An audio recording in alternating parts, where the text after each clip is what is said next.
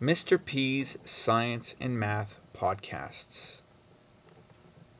For more science and math concepts, search me out on iTunes by typing Papapodcasts. You can contact me at Mr. P. Lieberman at gmail.com. Thank you for watching. The distributive law.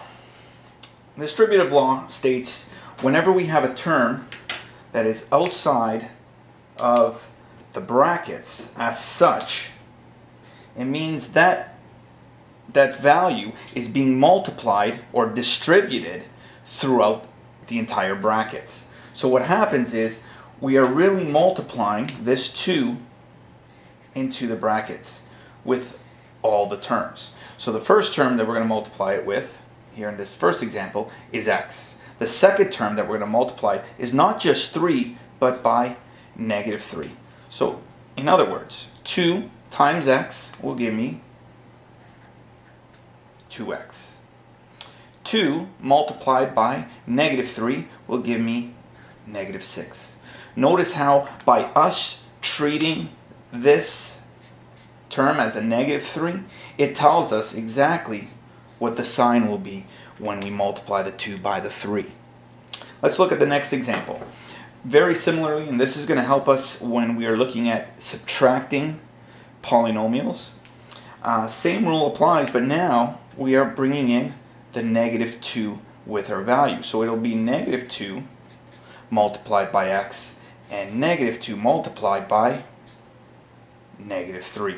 So the first example, negative 2 times x, will give us negative 2x. Negative 2 multiplied by negative 3 will give us two negatives here, become positive. 2 times 3 will give me 6.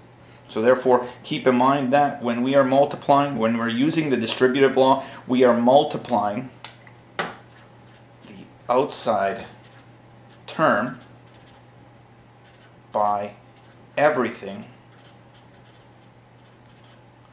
inside the brackets. Okay, let's look at one more example here. We're going to use the following number. 4 multiplied by x squared minus x minus 3. Okay, notice how within our brackets we have three terms, but still this 4 is being multiplied inside the brackets. It's going to be multiplied by x squared it's going to be multiplied by negative x, and it's going to be multiplied by negative 3. So this 4 times x squared will give me 4x squared.